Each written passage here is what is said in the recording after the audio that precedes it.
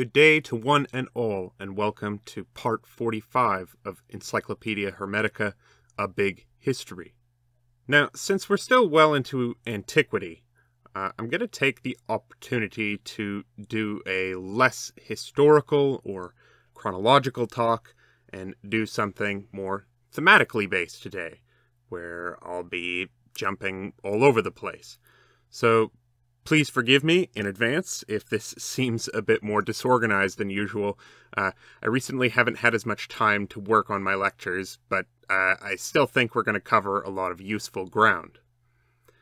And so, my theme today is something which will become increasingly more and more important to the overall history of Hermeticism, and that is the theme of the out of body experience or at least how this was interpreted and related in ancient literature. Now, it doesn't matter if you're Ishtar, Odysseus, Aeneas, Heracles, Orpheus, Paul of Tarsus, Apuleius, Muhammad, Dante, or whatever, when you left your body, you went on a relatively standardized journey, either to Hades, the Catabasis, the downward journey, or to the heavenly spheres above, the anabasis, the upward journey, or both. Uh, it, it seems to me that both was more often the case than not. Jesus, as the archetypal hero, uh, does this on the cross after he undergoes kenosis.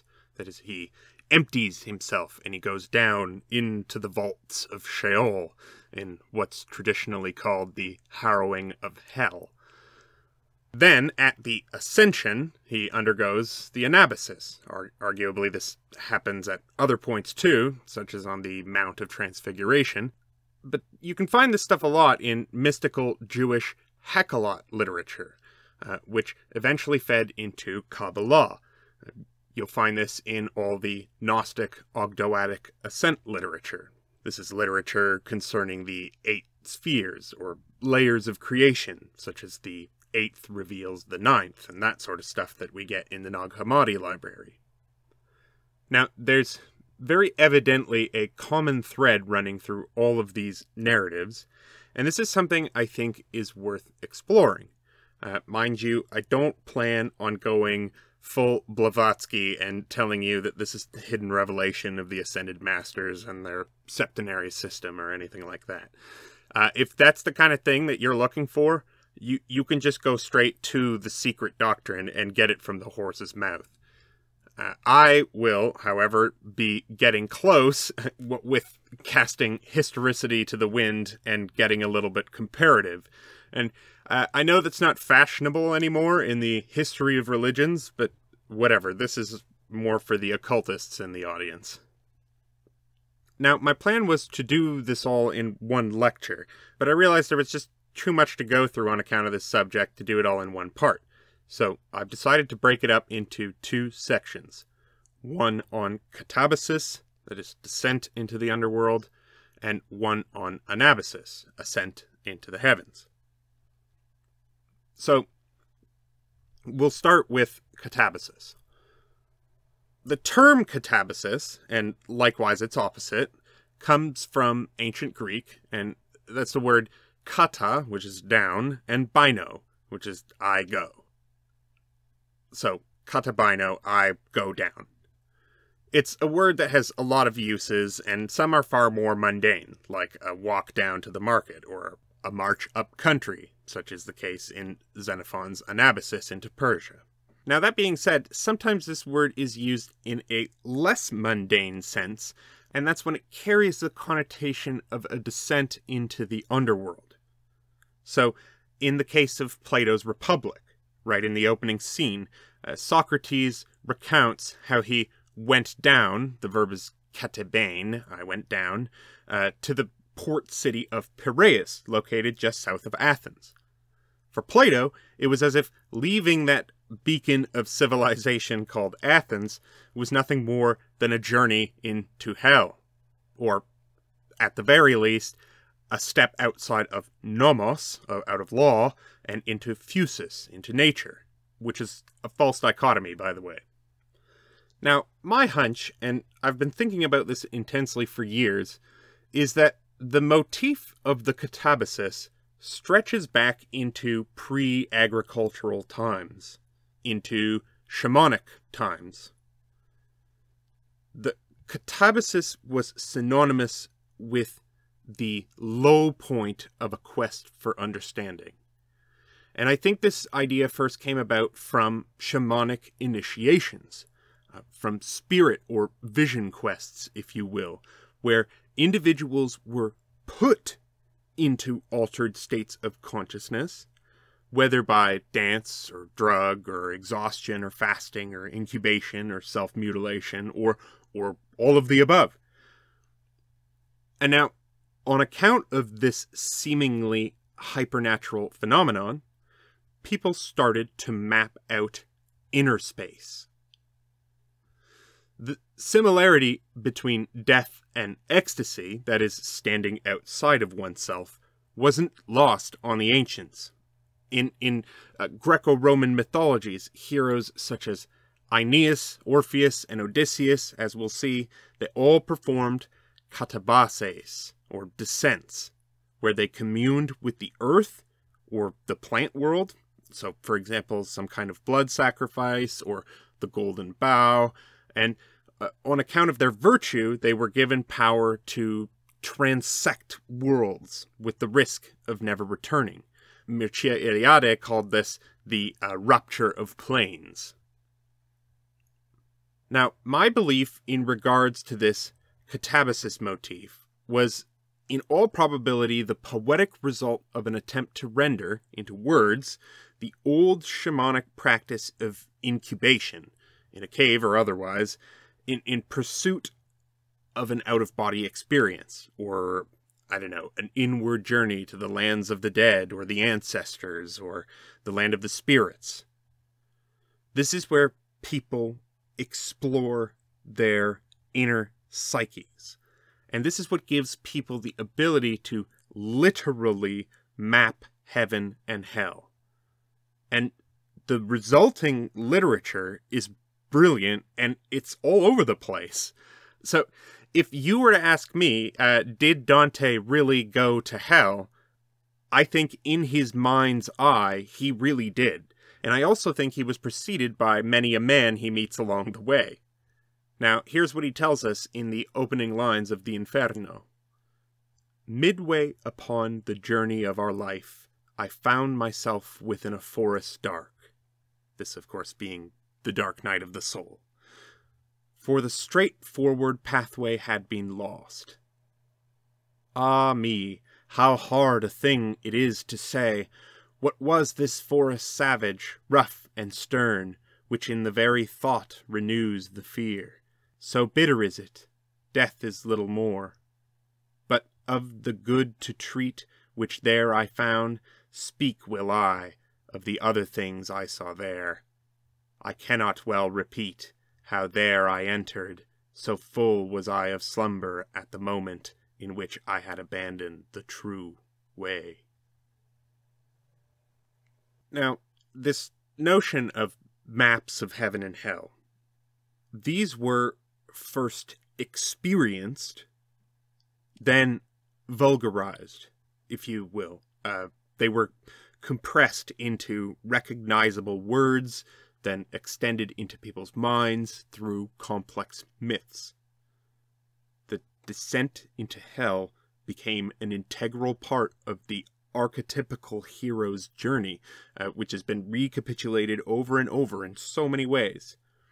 But what this signifies for everyone, then, that is, when approached from a psychological perspective, is that the journey to the underworld is a journey into a basal state of consciousness.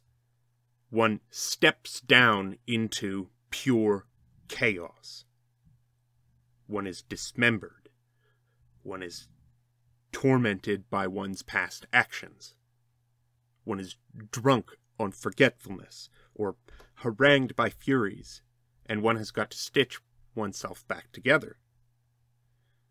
This part of the journey is the dark night of the soul, Dante's forest dark, uh, when the pull of the infernal dimensions is stronger than those of the celestial, uh, rather than in balance. Where it is necessary for the weary soul to make the hero's journey back to the land of the living, lest he become one among the powerless, gibbering shades. Now, here's the thing crisis can come about naturally, or it can be simulated. Dante was by no means the first whose mind was freed to map hell. Uh, through all kinds of shamanic techniques that I just listed, one can be hurled headlong into short term, one man micro crisis with relative ease, and then ignite a sort of personal eschaton where the floodgates of dreams is opened up, and one is forced to swim in its torrential floods and whirling eddies. You know, no initiate ventured past the gates of a mystery school with the expectation of having a good party unless, of course, they were looking to profane the mysteries. When Apuleius' character, Lucius, in his novel called The Metamorphosis, is confronted by a priest about his initiation rites into the cult of Isis, he answers, The gates of hell and the power of life are in the hands of the goddess, and the very act of dedication is regarded as a voluntary death and an imperiling of life. In retelling his initiation, he tells of his own descent into hell, but also subsequently into the heavens. You need both for the whole experience. And I quote Listen then, but believe, for what I tell you is the truth. I came to the boundary of death, and after treading Proserpine's threshold, I returned, having traversed all the elements. At midnight, I saw the sun shining with brilliant light. I approached the gods below and the gods above, face to face, and I worshipped them in their actual presence. Now, I've told you what, though you have heard it, you cannot know. Now, I should probably mention that out of body experiences provoked by an overdose of hallucinogenic or deliriant substances uh, can appear indistinguishable from the hallucinations onset by life threatening fevers, uh, bouts of temporary psychosis, extreme exhaustion, and near death experiences. Because ultimately, we are drugs. We are drugs. There's no such thing as doing it on the natch because we are drugs. All right. Now, long before the introduction of alcohol, ecstatic specialists had available to themselves all manner of plants and fungi with oracular properties. So they had various hallucinogenic mushrooms, uh, Amanita muscaria, and possibly various types of coprophilic psilocybin containing mushrooms, uh, opium, Jimson weed, that is datura, mandrake root, cannabis, uh, deadly nightshade, henbane, various rues and DMT containing reeds, shrubs, and trees, uh, or even combinations of all of these things. Uh, all of these can be used to trigger a personal catabasis or anabasis. And I really think we can't overstate the importance of these things as a catalyst for visionary states. These are not the sine qua non of the experience, but they're the easiest way to reach them. You know, why learn to walk on water when the boatman charges you a penny? Now, that being said, there was obviously knowledge that these sorts of states could be achieved by other means. Plato's myth of Ur, uh, that is in the Republic, in Book 10, lines 614 to 621. Uh, this features a kind of philosophical catabasis narrative wherein a man has a near death experience during a battle and then suddenly awakes 10 days later atop his own funeral pyre, just about to be burned. Now, during his journeys through the afterlife, Ur finds himself immersed in a strikingly DMT like metaphysical dream world with four giant portals, uh, two above and two below, where the disembodied souls of the dead were accordingly being sent off to dwell.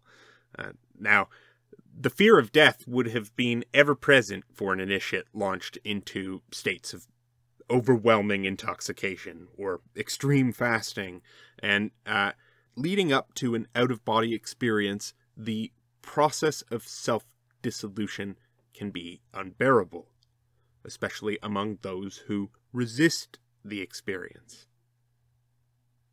In such experiences, a shaman or a priest often acts as a psychopomp or guide for the dying or ecstatic soul. Uh, this became absorbed into the literary tradition in the form of all kinds of gods and guides. But in any case, we're getting ahead of ourselves. Uh, as the Emerald Tablets axiom goes, that which is above is onto that which is below, and vice versa.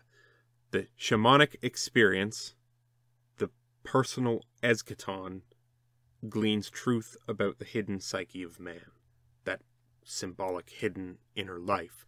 But it also acts as a map or a cosmological model for explaining the construction of the universe, the, the lesser man writ large.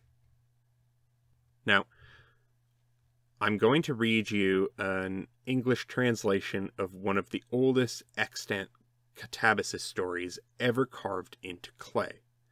And this is a Babylonian slash Akkadian account of Ishtar's descent, who was uh, first the Sumerian Inanna. And remember, uh, a picture is worth a thousand words, but a symbol is worth a thousand pictures. These myths operate on numerous levels. I don't want to say that this is the mother of all stories, uh, but it definitely has its echoes throughout the Mediterranean world's mystery traditions, from the Orphic myths to the rape of Persephone to the fall of Sophia and Gnosticism to the emanation of God in the material world through the Sephirot, and so on and so forth. Uh, the soul falls into the underworld that is matter or the sensible, and then it makes for its inevitable return. So, here we go. The descent of the goddess Ishtar into the lower world. Uh, this is a very old translation. It's done by uh, Morris Jastrow in 1915. To the land of no return, the land of darkness, Ishtar, the daughter of Sin, the moon, directed her thought to the house of shadows, the dwelling of Irkalla, that's Hades, to the house without exit for him who enters therein, to the road whence there is no turning, to the house without light for him who enters therein, the place where dust is their nourishment, clay their food.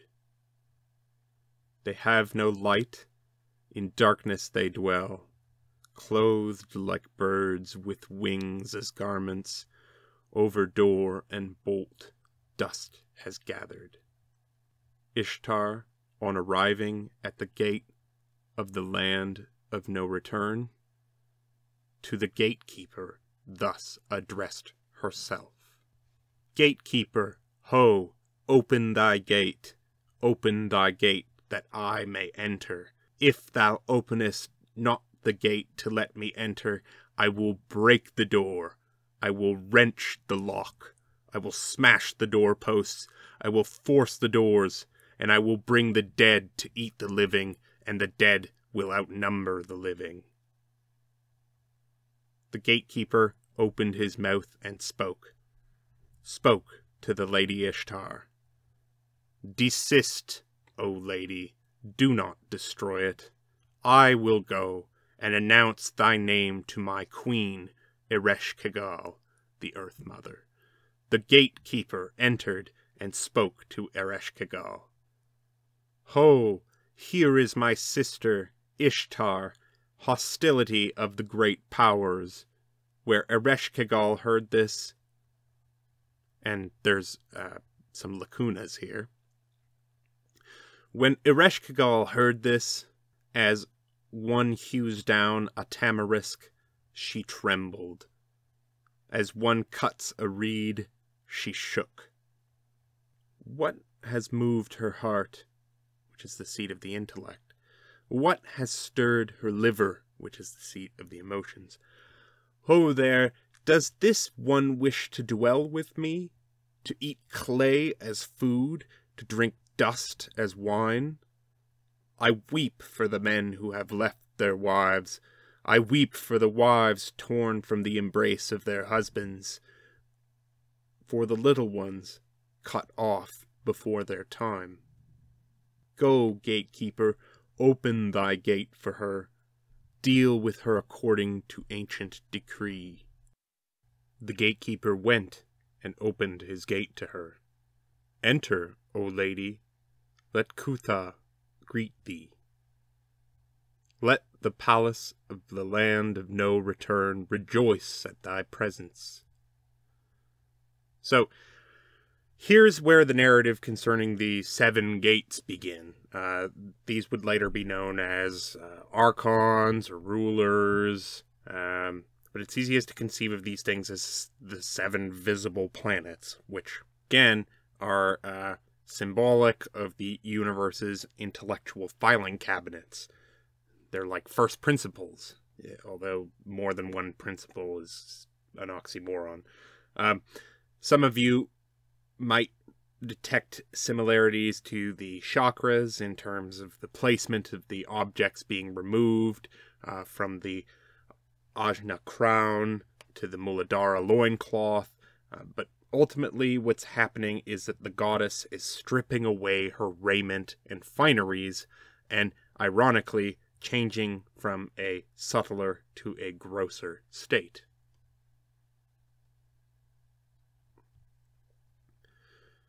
he bade her enter the first gate, which he opened wide, and took the large crown off her head. Why, O gatekeeper, dost thou remove the large crown off my head? Enter, O lady, such are the decrees of Ereshkigal. The second gate he bade her enter, opening it wide, and removed her earrings.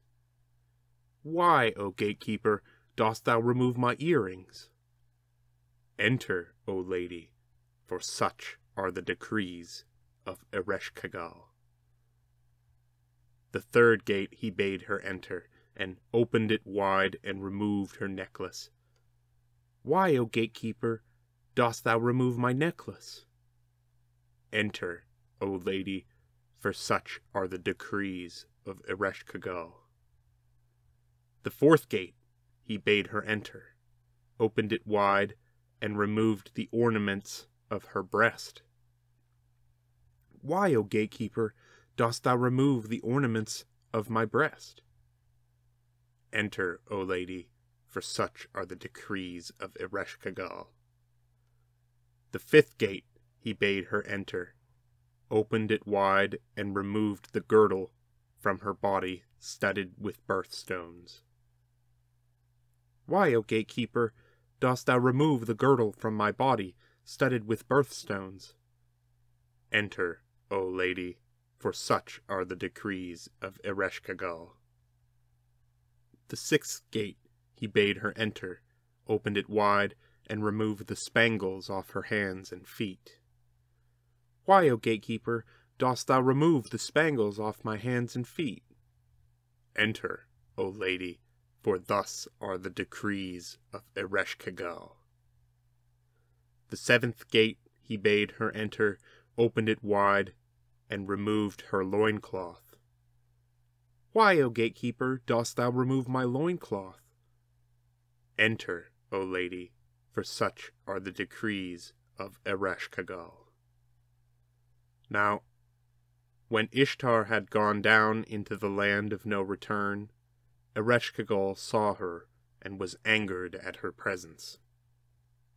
Ishtar, without reflection, threw herself at her in rage. Ereshkigal opened her mouth and spoke. To Namtar, her messenger, she addressed herself.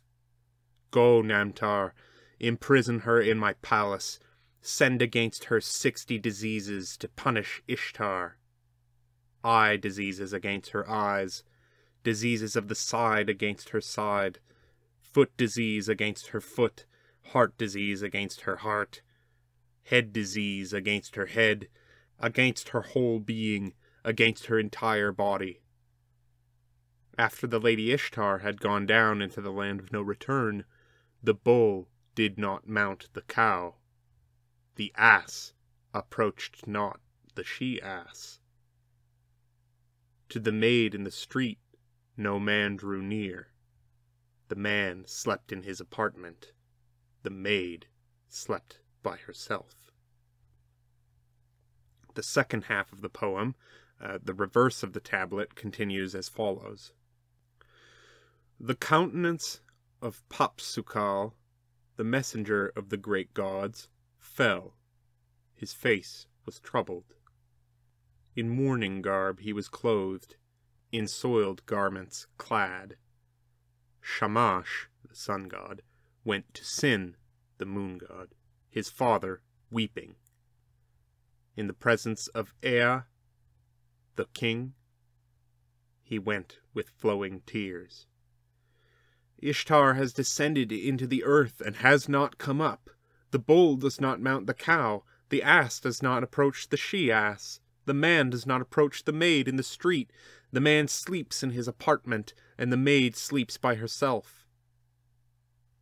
Ea, in the wisdom of his heart, formed a being. He formed Asu Shu Namir, the eunuch. Go, Asu Shu Namir, to the land of no return direct thy face.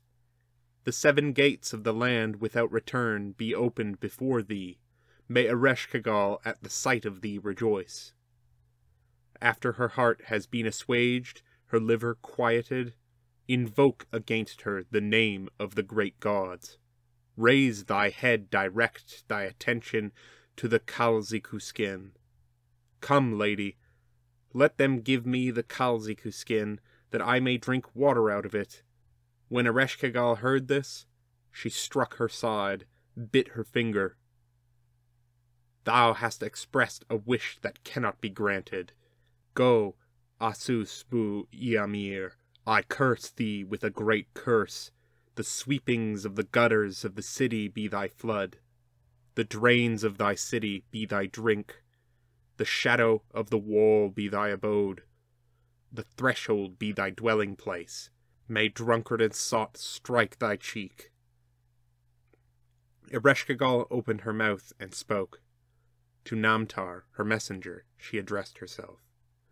Go, Namtar, knock at the strong palace, strike the threshold of precious stones, bring out the Anunnaki, those from on high, seat them on golden thrones, Sprinkle Ishtar with the waters of life.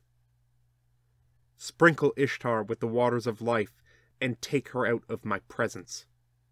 Namtar went, knocked at the strong palace, tapped on the threshold of precious stones. He brought out the Anunnaki and placed them on golden thrones. He sprinkled Ishtar with the waters of life and took hold of her. Through the first gate he led her out and returned her her loincloth. Through the second gate he led her out, and returned her the spangles of her hands and feet. Through the third gate he led her out, and returned her the girdle of her body, studded with birthstones. Through the fourth gate he led her out, and returned to her the ornaments of her breast. Through the fifth gate he led her out and returned to her her necklace. Through the sixth gate he led her out and returned her earrings. Through the seventh gate he led her out and returned to her the large crown for her head. Uh, the following lines are in the form of an address, apparently to someone who has sought release for a dear one from the portals of the lower world.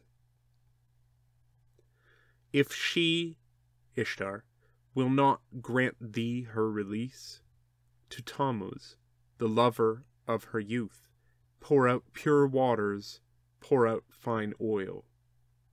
With a festival garment, deck him that he may play on the flute of lapis lazuli, that the votaries may cheer his liver. Belili, the sister of Tammuz, had gathered the treasure, with precious stones filled her bosom. When Belili heard the lament of her brother, she dropped her treasure. She scattered the precious stones before her. Oh, my only brother, do not let me perish. On the day when Tammuz plays for me on the flute of lapis lazuli, playing it for me with the porphyry ring, together with him play ye for me, ye weepers and lamenting women, that the dead may rise up and inhale the incense. Now, with this uh, little addendum aside, uh, there's obviously going to be all kinds of interpretations for this story. Uh, it's a cute fairy tale, it's a spiritual allegory, it's an etiological myth about the cycle of death and rebirth inherent in nature, and so on and so forth. Uh, what makes myths and symbols great is that they operate on many levels. They're polysemic. Now, historically speaking, this was probably intended as an etiological myth over the cycle of the seasons. But I think over centuries of elaboration, local variation, philosophical analysis, and so forth, these stories were recognized for their ability to initiate people into the very mysteries of existence. Uh, this is why the mysteries of Zagreus and the Titans, of Isis and Osiris, of Persephone and Demeter, of Attis and Cybele, and so on and so forth, they all tap into aspects of this Ur narrative. If you want a really good Neoplatonic reading of this mystery school material, uh, you'd best be looking into the works of Julian the Apostate, who had all manner of in depth analyses on the subject matter of the mother of all the gods. Now, jumping out of chronological order, and I'll come back to some more ancient narratives later, uh, I want to read you something from the New Testament to see how, over millennia, uh, this myth was vulgarized and transformed into a spiritual allegory, a Nostos narrative, that is, a narrative about the return home. When the Atma, or the world soul, uh, the God above God, of which we are all but facets, makes a journey into the abyss, into the phenomenal world, to find out who and what it was all along before returning to the pleroma, the fullness. It's about the oscillation between the one and the many, uh, as if the universe was playing hide and seek with itself, climbing up and down the tree of life, out from the world of pure potentiality into the ever shifting and corruptible realm of actuality and, and back. So here it goes. And if anybody is familiar with the myth of the pearl, uh, I want you to keep that one especially in mind when we read this. Uh, I want you to see behind the mundaneness of this particular account. The parable of the lost son. Jesus continued There was a man who had two sons. The younger one said to his father, Father, give me my share of the estate. So he divided his property between them. Not long after that, the younger son got together all he had and set off for a distant country, where he squandered his wealth in wild living. After he spent everything, there was a severe famine in that whole country, and he began to be in need. So he went and he hired himself out to a citizen of that country, who set him up in his fields to feed pigs. He longed to fill his stomach with the pods that the pigs were eating, but no one gave him anything. When he came to his senses, he said, How many of my father's hired servants have food to spare? And here I am starving to death. I will set out and go back to my father and say to him, Father, I've sinned against heaven and, and against you. I'm no longer worthy to be called your son. Make me like one of your hired servants. So he got up and went to his father. But while he was still a long way off, his father saw him and was filled with compassion for him. He ran out to his son, he threw his arms around him and kissed him. The son said to him, Father, I've sinned against heaven and against you. I'm no longer worthy to be called your son. But the father said to his servants, Quick, bring the best robes and put it on him. Put a ring on his finger and sandals on his feet Bring the fattened calf and kill it. Let's have a feast and celebrate, for the son of mine was dead and is alive again. He was lost and is found.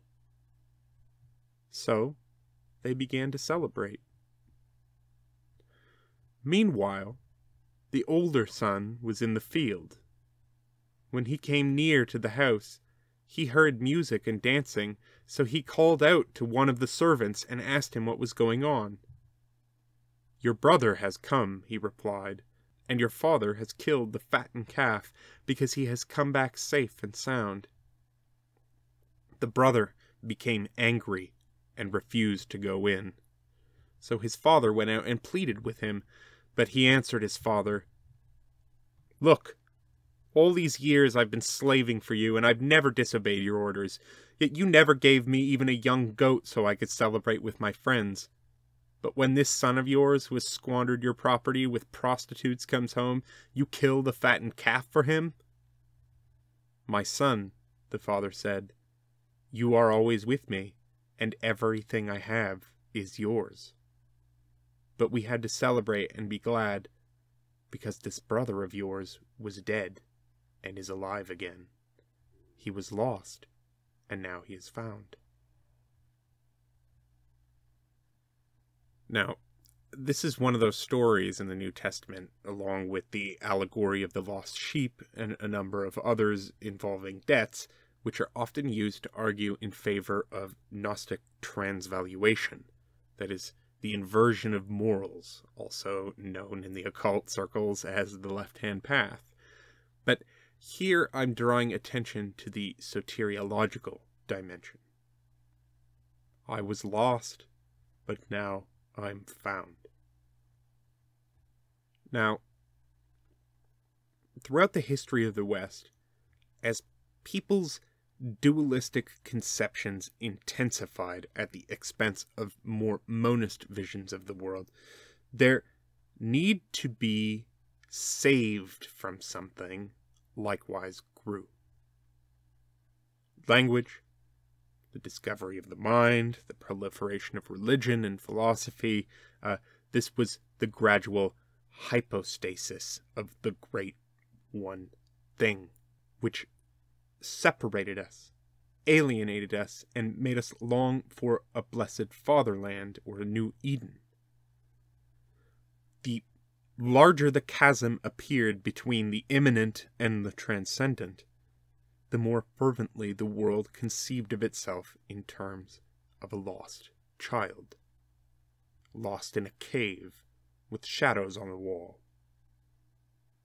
And the more lost people felt in the world, the more stories they told about a soul that fell from the state of perfection and was saved in the end.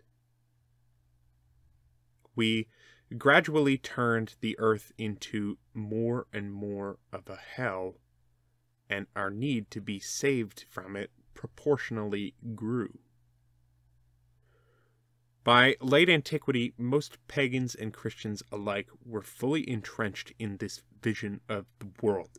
Uh, even Homer's Odyssey was reinterpreted as an allegory of the soul's journey into manifestation, then back toward the One. Uh, one of the most popular myths, which primed Greek consciousness for this mode of thinking, was at the heart of the Eleusinian mysteries. And that, of course, was the story of Demeter and Persephone. Now, I think the only way that I can do this justice is by reading you an English translation of the Homeric hymn. Uh, but I'm going to try to give you an abridged version because it's rather long, and uh, for some reason, there's a bunch of untranslated Greek words in this particular translation of the text. So I'll tell you what they are as I go, uh, unless the specific word slips my memory. So here we go. I begin to sing of Demeter, the holy goddess with the beautiful hair, and her daughter Persephone, too, the one with delicate ankles, whom Hades seized. She was given away by Zeus, the loud thunderer, the one who sees far and wide. Demeter did not take part in this, she of the golden double axe, she who glories in the harvest. Persephone was having a good time along with the daughters of Okeanos, who wear their girdles slung low. She was picking flowers, roses, crocus, and the beautiful violets, up and down the soft meadow. Iris blossoms too she picked, and hyacinth, and the narcissus, which was grown as a lure for the flower-faced girl by Gaia. All according to the plans of Zeus. She, Gaia, was doing a favor for the one who receives many guests, Hades. It, the Narcissus, was a wonderful thing in its splendor. To look at it gives a sense of holy awe to the immortal gods as well as to mortal humans. It has a hundred heads growing up from the root. Its sweet fragrance spread over the wide sky up above, and the earth below smiled back in all its radiance. So too the churning mass of the salty sea.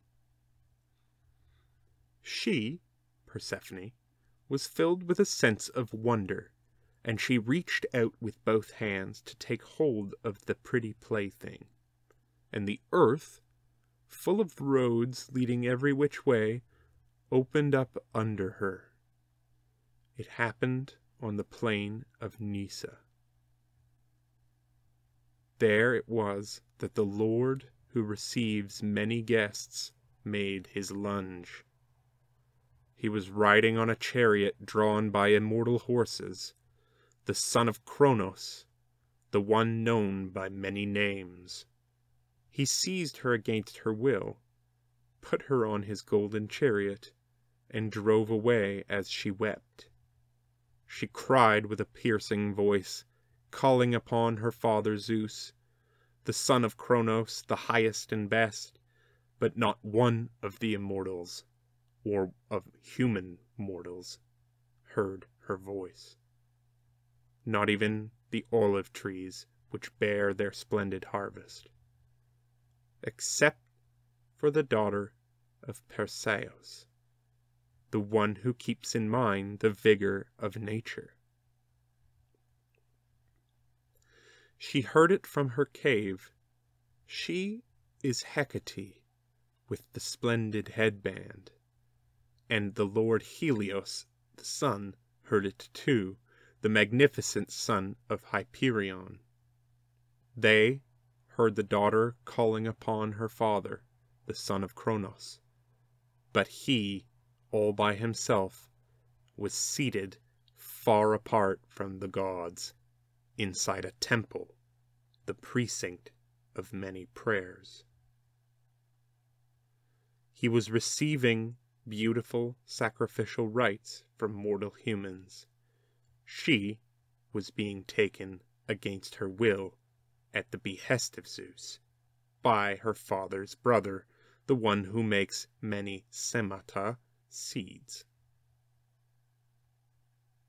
the one who receives many guests, the son of Kronos, the one with many names.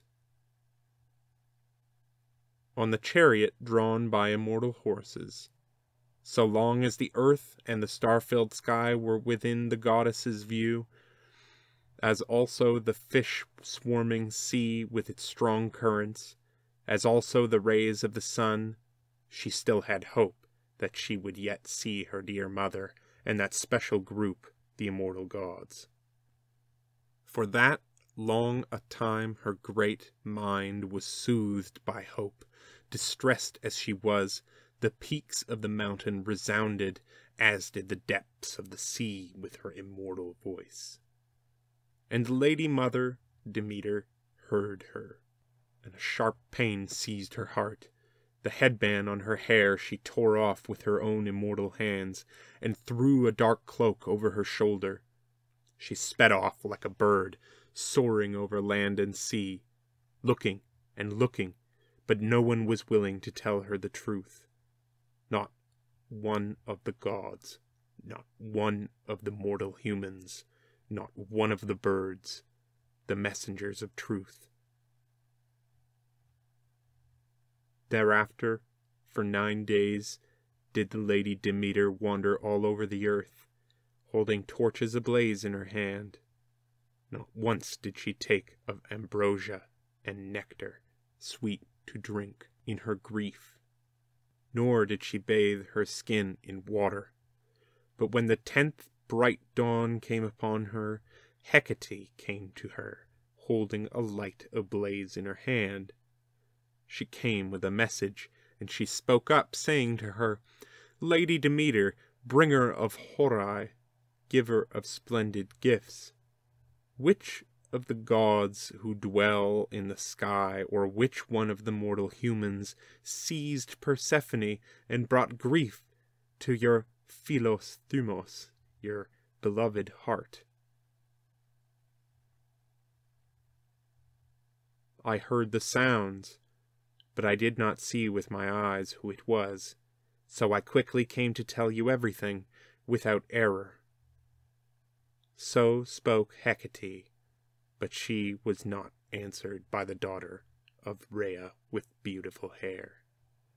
Instead, she, Demeter, joined her, Hecate, and quickly set out with her, holding torches ablaze in her hands. They came to Helios, the seeing eye of gods and men. They stood in front of his chariot team, and the resplendent goddess asked this question Helios, show me respect. God to goddess, if ever I have pleased your heart and Thumos, which is heart again.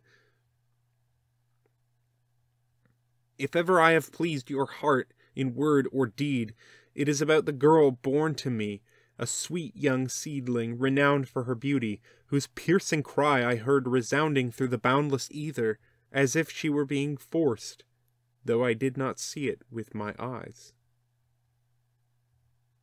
I turn to you as one who ranges all over the earth and see, as you look down from the bright ether with your sunbeams, tell me without error whether you have by any chance seen my beloved child, and who has taken her away from me by force against her will, and then gone away.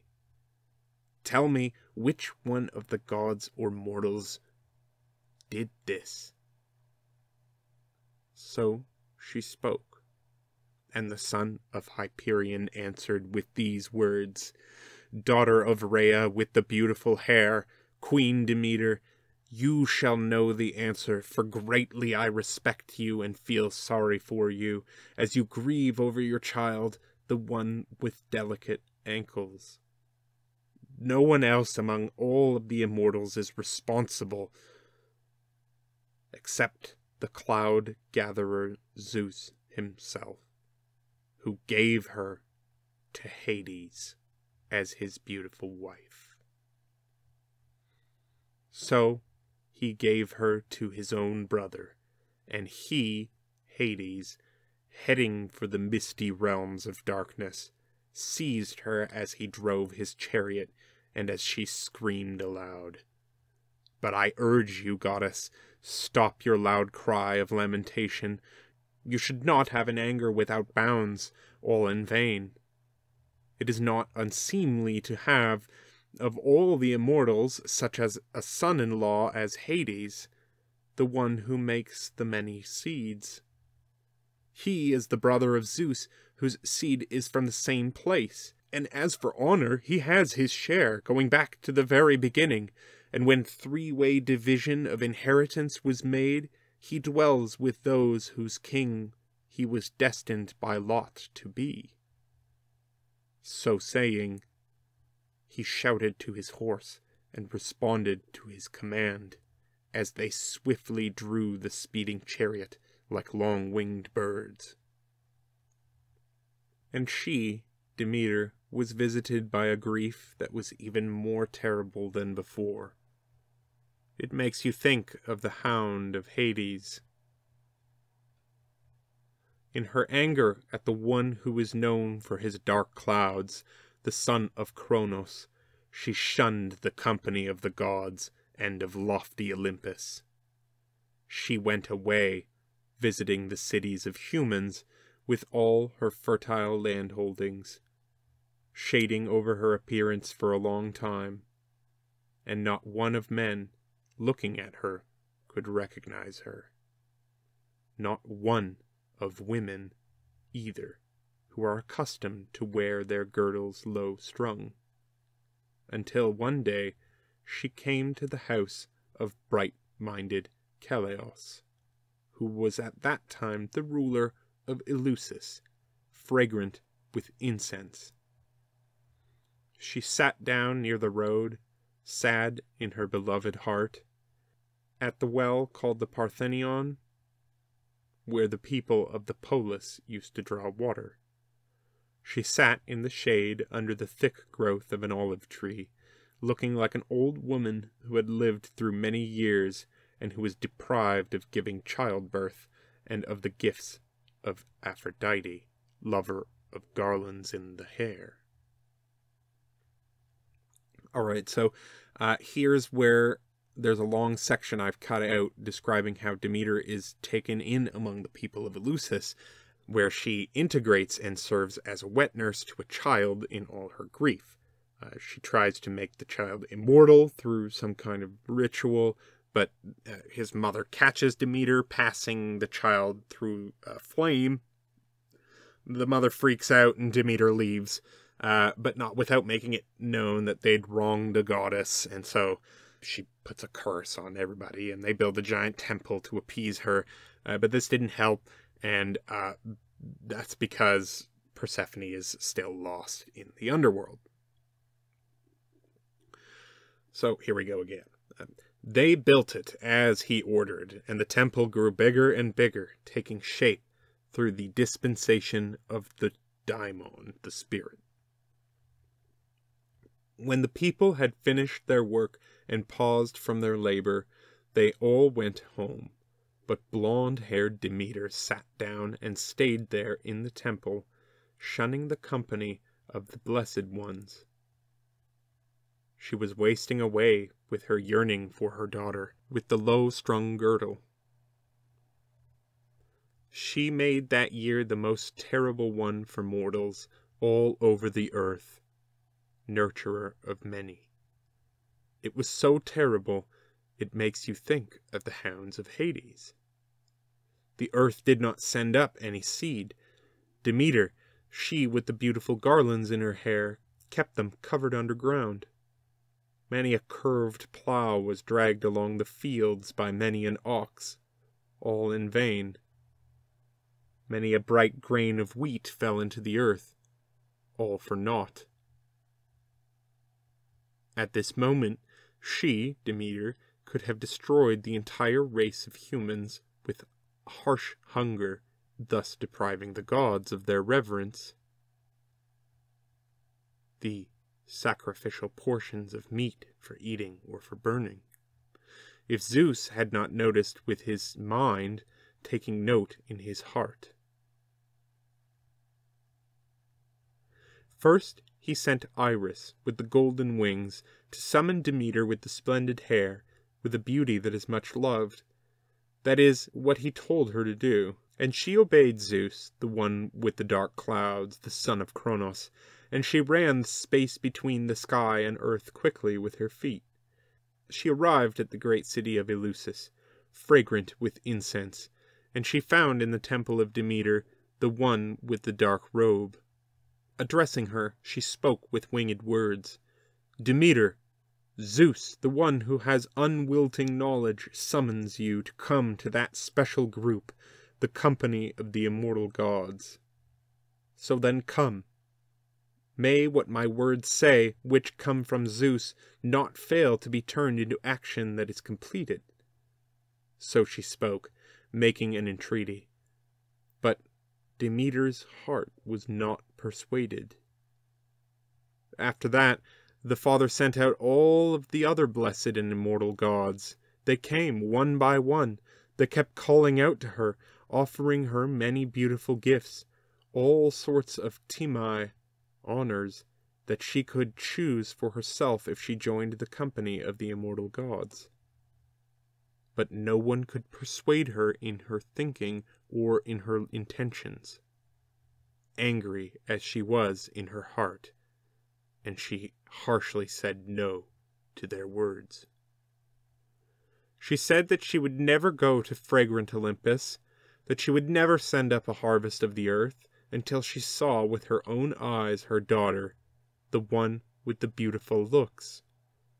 But when the loud thunderer, the one who sees far and wide, heard this, he sent to Erebos, the one with the golden wand, the Argos killer, Hermes, so that he may persuade Hades with gentle words that he allow holy Persephone to leave the misty realms of darkness and be brought to the light in order to join the daimones, the gods in Olympus, so that her mother may see her with her own eyes and let go of her anger.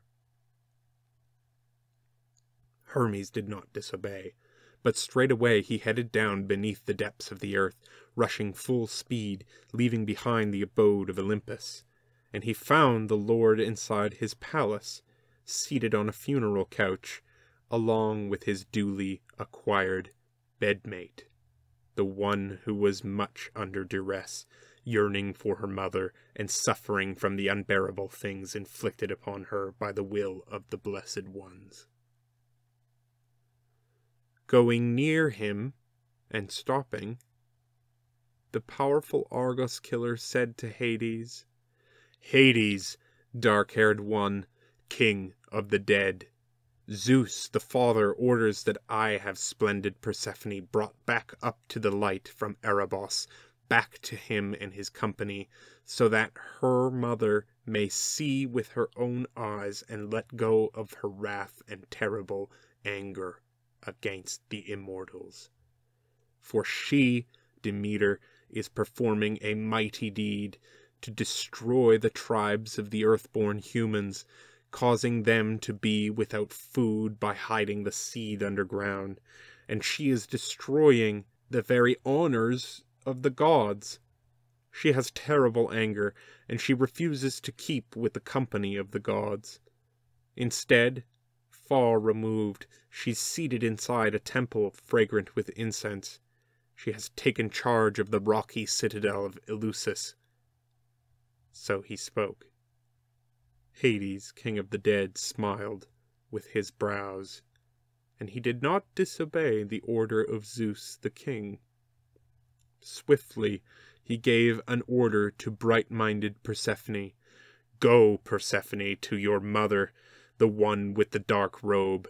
Have a kindly disposition and a, and a heart in your breast. Do not be upset excessively so. I will not be an unseemly husband to you in the company of the immortals. I am the brother of Zeus, the father. If you are here, you will be queen of everything that lives and moves about, and you will have the greatest honor in the company of the immortals. Those who violate law will get punishment for all days to come. Those who do not supplicate your menos with sacrifice, performing the rituals in a reverent way, executing perfectly the offerings that are due. So he spoke, and high minded Persephone rejoiced.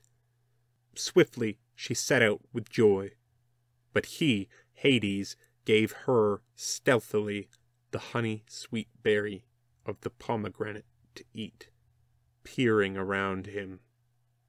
He did not want her to stay for all time over there at the side of her honorable mother, the one with the dark robe. The immortal horses were harnessed to the golden chariot by Hades, the one who makes many seeds. She got up on the chariot, and next to her was the powerful Argus killer, who took reins and whip into his beloved hands and shot out the palace of Hades. And the horses sped away eagerly. Swiftly they made their way along the long journey. Neither the sea, nor the water of the rivers, nor the grassy valleys, nor the mountain peaks could hold the onrush of the immortal horses. High over the peaks they went, slicing through the vast air. He came to a halt at the place where Demeter, with the beautiful garlands in her hair, was staying, at the forefront of the temple, fragrant with incense. When she, Demeter, saw them, she rushed forth like a Maenad down a wooded mountain slope. But when the earth starts blossoming with fragrant flowers of springtime, flowers of every sort, then it is that you must come up from the misty realm of darkness once again. Alright, and now I've excised a few lines here. Going to take up at line 401.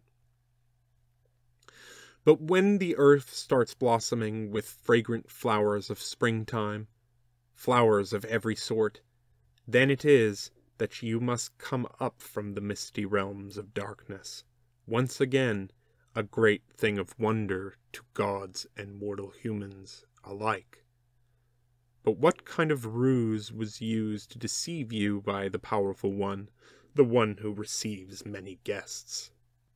She, Demeter, was answered by Persephone, the most beautiful. So then, mother, I shall tell you everything without error. When the messenger came to me, the swift Argus killer, with the news from my father, the son of Kronos, and from other dwellers in the sky, that I should come from Erebos, so that you may see me with your own eyes and let go of your wrath, your terrible anger against the immortals. Then I sprang up for joy, but he, stealthily, put into my hand the berry of the pomegranate, that honey sweet food, and he compelled me by force to eat it. Now I'm skipping a few lines ahead. We were playing and gathering lovely flowers in our hands, an assortment of delicate crocus and iris and hyacinth, rosebuds and lilies, a wonder to behold, and the narcissus which is grown like the crocus by the wide earth. I was joyfully gathering these flowers, and then the earth beneath me gave way, and there it was. And there it was that he sprang out, the powerful lord who receives many guests. He took me away under his earth, in his golden chariot. It was very much against my will. I cried with a piercing voice, These things, grieving, I tell you, and they are all the truth.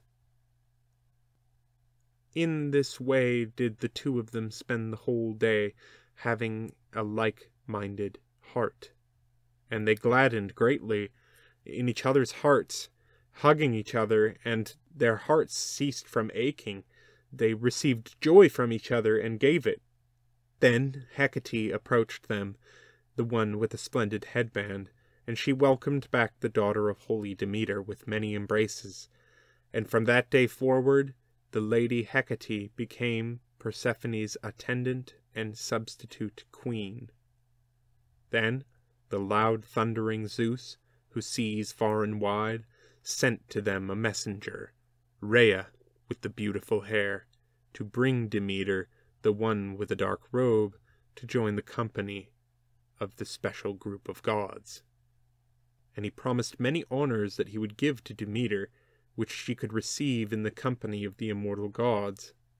He, Zeus, assented that her daughter, every time the season came round, would spend a third portion of the year in the realms of dark mist underneath, and the other two thirds in the company of her mother and the other immortals. So he spoke, and the goddess Rhea did not disobey the messages of Zeus. And I'll stop there.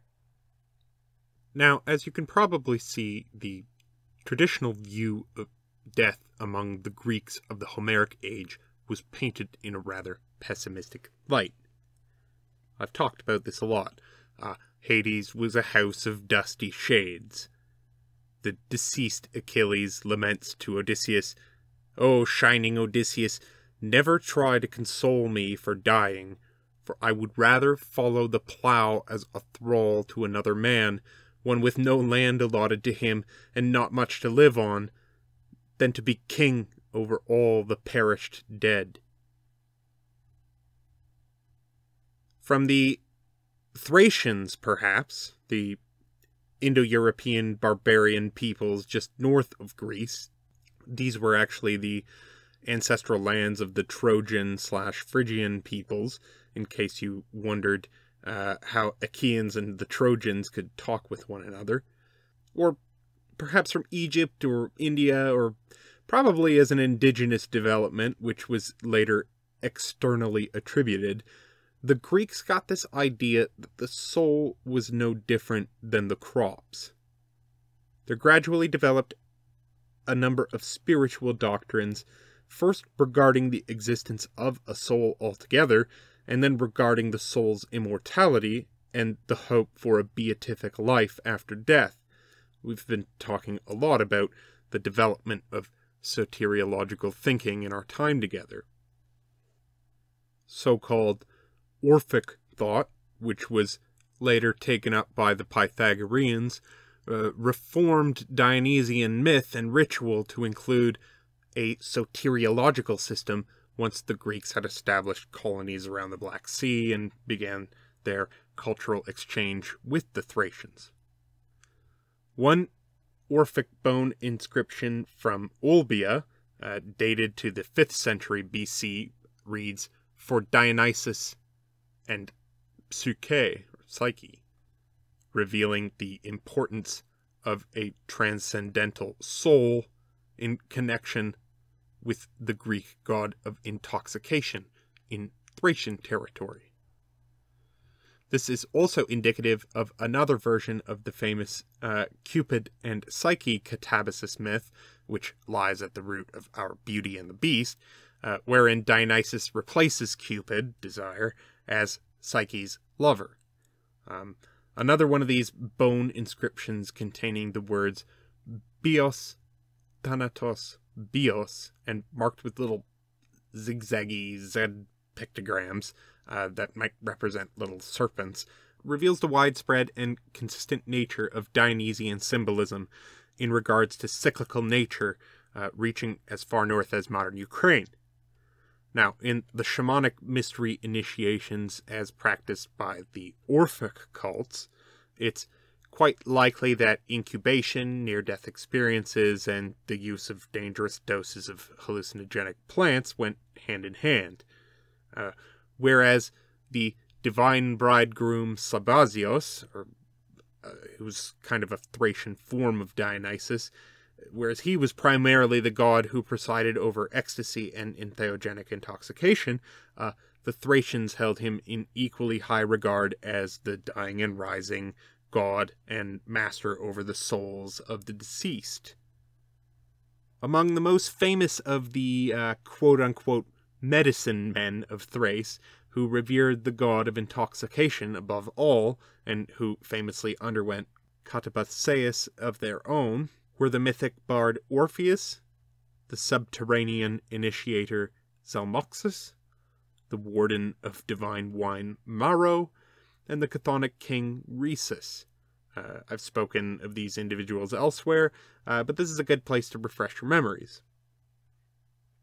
Now, most writers of antiquity actually believe in the historical veracity of Orpheus, although his lifetime stretched back into the dimness of legend.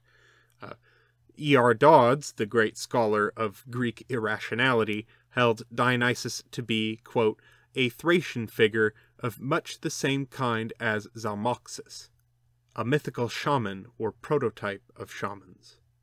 So Orpheus was both noble and semi divine. He was a, a, prince, being the son of the muse Calliope and the Euhemerized king Oeagrus, who was a Thracian wine god. Uh, in some other accounts, he was the son of Apollo, a god of healing, music, and prophecy. And now, whether or not we should take this at face value is another issue altogether, but some guy we call Pseudo Apollodorus accredits Orpheus with the invention of the Dionysian mysteries themselves. That secret cult of women established around sacred marriage and entheogenic intoxication. And I think this is important. Uh, Strabo buttresses this claim telling us that the rites of Orpheus first originated among the Cotytian and the Bendidean rites, as practiced among the Thracians. Uh, he adds that these rites resemble the Phrygian rites. Makes sense. And it is at least not likely that, just as the Phrygians themselves were colonists from Thrace, which is true, so also their sacred rites were borrowed from there. Now, Orpheus was reputed to have traveled widely, proselytizing the sacred doctrines of the goddess and her divine bridegroom throughout the lands he wandered. But what were those sacred doctrines? Well, we don't really know, uh, but it's probable that this Orpheus character would have represented a class of people rather than one individual, sort of like Homer, uh, who who are not unlike the Metragyrtai of Cybele, these wandering mendicants who proselytize some kind of lost and found death and resurrection goddess myth and its associated mysteries. So, for example, in Aegina, Orpheus is said to have established the rites of Hecate, and in Laconia, he introduced the quasi Eleusinian rites of Demeter Chthonia, the subterranean mother, both of which were centered on the erection of a wooden image. Now, the shamanic character of Orpheus is very well attested amongst both ancient and modern sources. He was uh, simultaneously a prince, a prophet, a healer, magician, a guardian of ecstatic mysteries. Uh, he possessed the ability to charm wild beasts and to control natural phenomena. Uh, he performed this catabasis, this descent into the underworld, on account of a spiritual quest to return the soul of his beloved Eurydice from Hades and Proserpina. And even his decapitated head was a source of oracular power, having been severed by Dionysus's Maenads for having embraced solar monotheism at the end of his life.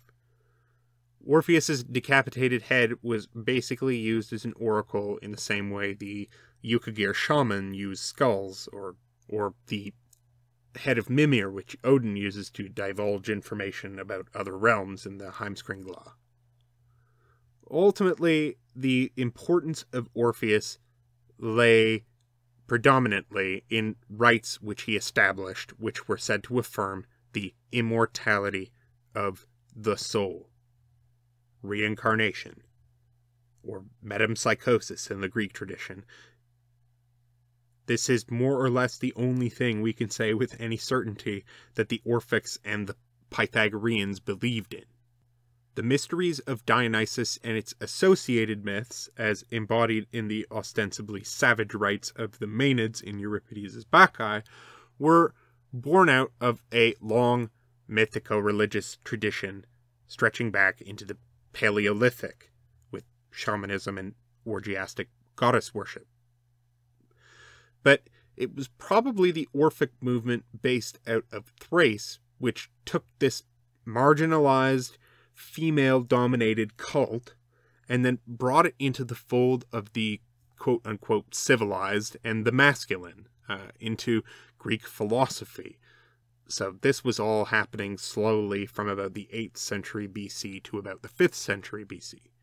Uh, the poet and, and translator uh, Robert Graves was very interested in this issue during his lifetime.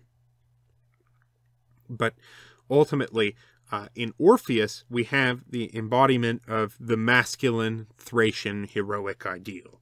He's a noble priest king, skilled in magical arts, and the founder of an ecstatic god's sacred rites. He's the model candidate for immortality. Rhesus, a Thracian king, literally his name means king, uh, like the Indo European Raj or Re in Irish or Rex in Latin. Uh, Rhesus is just king in Thracian. Uh, this guy appears in the Iliad and in a tragedy attributed to Euripides, and he exhibits many of the archetypes that I've defined as the ideal Thracian man. Uh, in Euripides' tragedy, uh, a messenger proclaims to Hector, I see Rhesus mounted like a god upon his Thracian chariot. Of gold was the yoke that linked the necks of his steeds, whiter than snow, and on his shoulders flashed his targe with figures welded in gold. He was the son of a river god and a muse, and during his life he exhibited godlike skills in war. He had a passion for gold and horses, and mystery rites imparted by Orpheus, the prophet of Bacchus. Uh, upon his death, Rhesus didn't descend into Hades for a life of bleak wandering and forgetfulness, but instead he achieved a kind of chthonic godhood. The Thracian king's mother, an unnamed muse, declared that, quote, He shall not descend into earth's darksome soil, so earnest a prayer will I address to the bride of the nether world, the daughter of the goddess Demeter, giver of increase, to release his soul, and debtor as she is to me, show that she honored the friends of Orpheus. Yet from henceforth will he be to me as one dead that seeth not the light, for never again will he meet me or see his mother's face, but will lurk hidden in a cavern of the land with veins of silver, restored to life, no longer man but God, even as did the prophet of Bacchus dwell in a grotto beneath Pangaeus, a god whom his votaries honored. In any case, I'm, I'm showing you this to indicate how the Greek conceptualization of the Thracians was set in the idea that immortality came to those who underwent some sort of Orphic initiation. You know, there is no salvation outside of initiation. The Orphics, by way of the Pythagoreans, and the Pythagoreans, by way of the Platonists, then doubtless played an incalculable role in priming the Greco Roman world for the breakdown of the polis, the rise of the individual, and the rise of manifold mystical philosophies, and the new soteriological dimensions of religion. No more were people looking to carve out a place in this world by the Hellenistic era, they needed to be saved from it. The katabasis and the anabasis are indispensable factors to this mass reconceptualization of the world, whether for good or for ill. Uh, if you have not fallen, you cannot be lifted up. If you have not died, you cannot be reborn. Well, alright. I suppose talking about Thrace makes for a nice segue to talk about Ovid, since he was famously exiled to Thracian lands in modern Romania after being exposed, along with a great number of other men, for a series of indiscretions with Augustus's daughter. In Ovid's poetic collection of mythological stories, he includes accounts of Catabaseus as well. Uh, in Book 4, Juno descends into Hades, not unlike Ishtar or Inanna, did millennia before her. Ovid describes Cerberus, the Furies, and so forth while in the underworld. Uh, Juno passes several famous souls who are being punished in Hades. So you've got Tantalus parched with thirst, and Sisyphus pushing his rock, and Ixion spitting on his wheel, and this kind of thing. Uh, seeing the souls of the wicked being punished in hell. It was a trope that would long endure, and everyone from Homer to Dante just delighted in describing these episodes. I'm reminded of William Blake's famous words concerning the literary titan John Milton.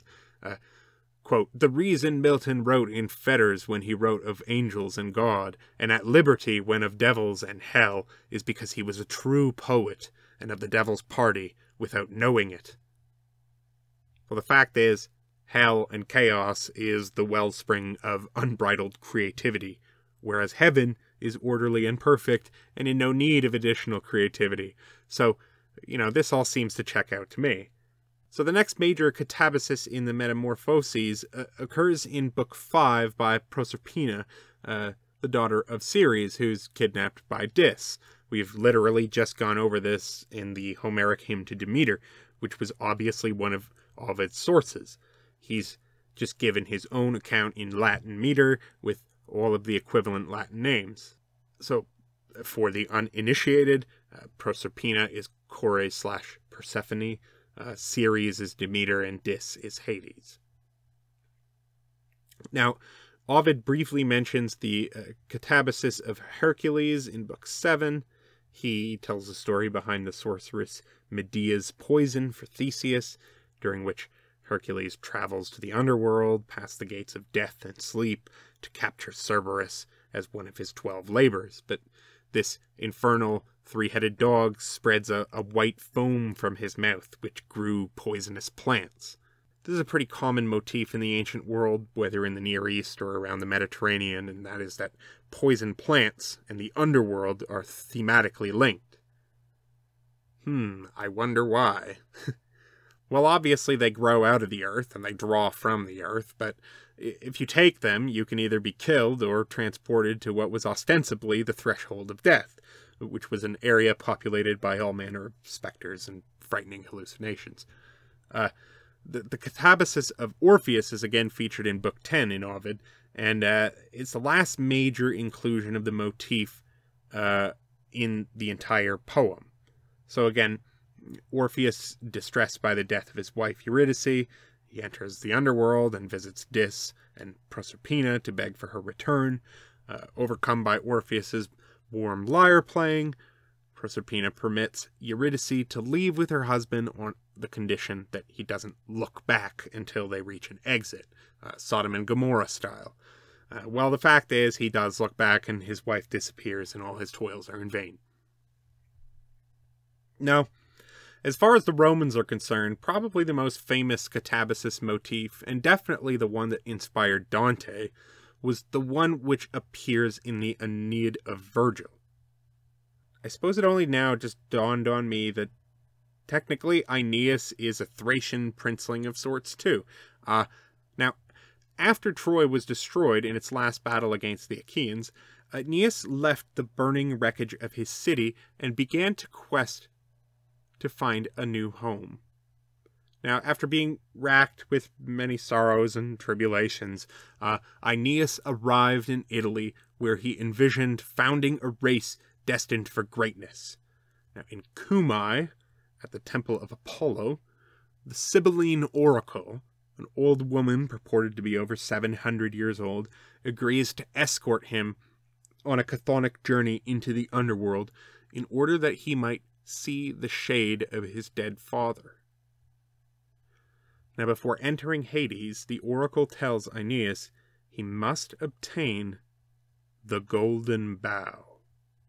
It's a golden branch from a tree that grew nearby in the woods around her cave, which I actually suspect is a mushroom, but I won't get into that here, especially since, like Moses in the burning bush, Aeneas isn't a real historical person.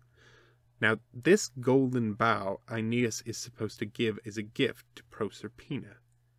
Aeneas's mother, uh, the goddess Venus, sends two doves to aid him in this difficult task. doves are traditionally associated with Anabasis, while serpents are traditionally associated with the Catabasis. Uh, and these uh, help him find the tree with the golden bough.